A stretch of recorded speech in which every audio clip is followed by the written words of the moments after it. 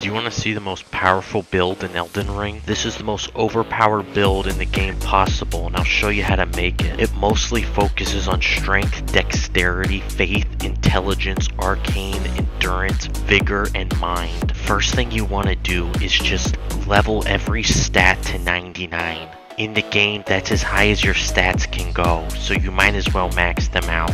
And the unique thing about this is, is, is what it does is that you will now have access to every spell and incantation in the game. Also, you can use whatever weapon you want, but I mostly stick to the Moon Veil.